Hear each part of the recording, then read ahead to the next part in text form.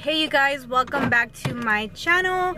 This is Nancy back at it again. I know. Okay so really quick today I am back with you guys but this time I'm going to be cooking tinga with you guys. If you guys follow me on snap you guys know that I am a complete foodie. Like I love food especially Mexican food. Love it. If I can choose one plate that I could eat for the rest of my life, it would definitely have to be tinga. First, we're going to stop by the store.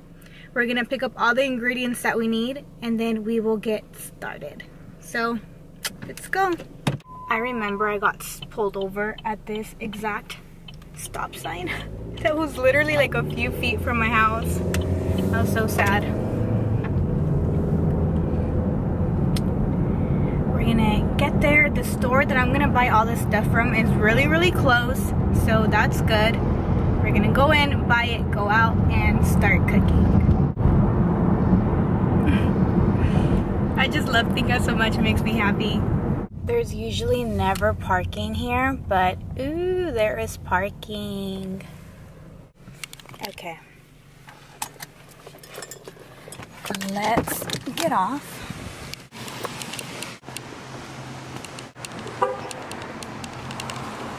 This is where we usually get all of our meats and stuff like that.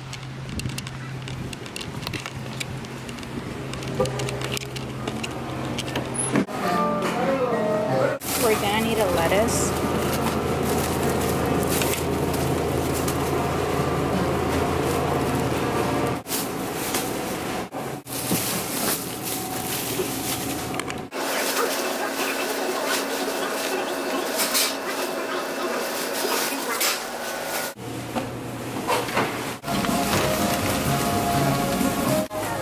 Hola, ¿me da 6 dólares de pechuga sin hueso? Sí. Ya, ya me está ayudando, gracias. Don Francisco, queso fresco.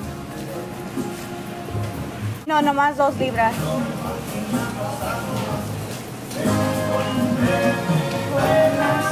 Dos libras. Sí, dos libras. ¿Qué tal? ¿Cuántas fotos lleva? ¿Cuántas qué? No, voy a, voy a grabar cómo hacer tinga. Muchas gracias. Gracias igualmente. I'm going to start off by washing my hands. You will see me do this throughout the entire process. And I'm going to also dry them. I'm going to start rinsing off the chicken. And disclaimer, I did break my nail. I know it annoys me, but now I'm to take out most of the fat of the chicken and cut it in small pieces. That way it cooks faster and better. I recommend that you already have the water boiling. It's better that way, but now I'm going to dump the chicken in there so that it can start cooking. You will see that I will continuously rewash everything that I'm using. I feel like if I do that, I'll create less of a mess and it'll be easier to clean up so I'll just keep rewashing it and reusing it. Now I'm going to wash the tomatoes. I'm only going to be using three. You can use four if you want it less spicy, but I like my food spicy. I'm going to start cooking them. Now I'm going to get a little small piece of onion and put it in the chicken and take out the foam that is forming as well. With the rest of the onion I will use later so I'll chop it all up. As soon as the tomatoes are cooked they will be soft and the skin will peel off. That's when you know they're ready, turn it off.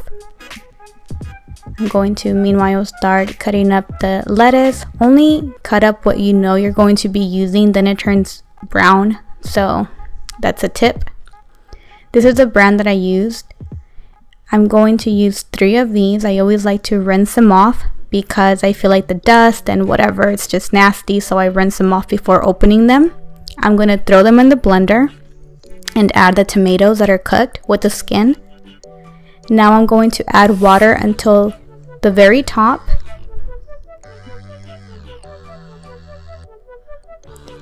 And it's ready to be blended.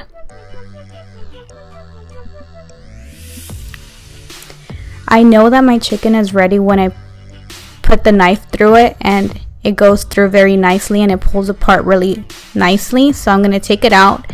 Now I'm going to start sauteing the onion with some vegetable oil. Once it's slightly brown, I'm going to turn it off and start shredding the chicken. Now I'm going to add the chicken in it and I want it lightly golden, not too crispy, just a little bit golden. It's ready for the sauce, so I'm going to pour that in.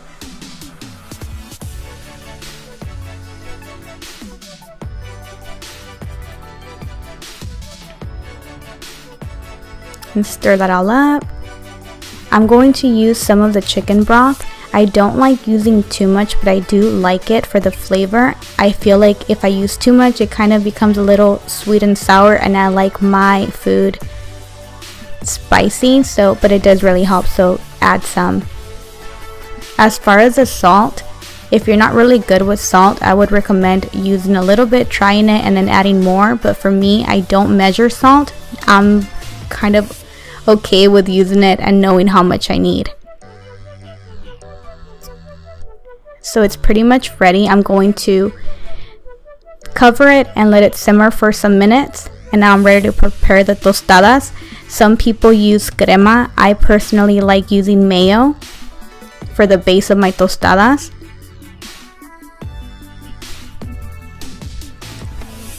Then I'm going to add the tinga right on top.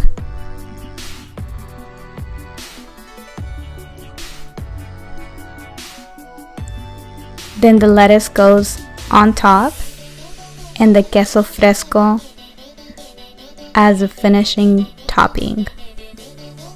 This is how I make my tinga. If you make it differently, let me know. If you've never tried tinga, try it. And let me know if you do. I'd love to hear your thoughts on it. Thank you for watching. Until next time, you guys, it's delicious.